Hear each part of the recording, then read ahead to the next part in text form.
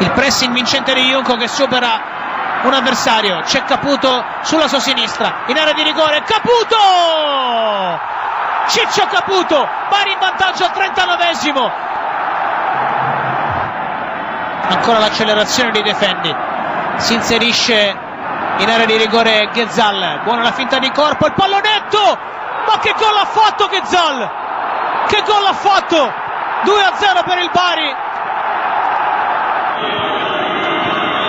Espulso della Fiore per aver colpito un avversario in area di rigore. E l'arbitro ha segnato anche il calcio di rigore. Caputo dal dischetto. Caputo! 3 a 0 per il Bari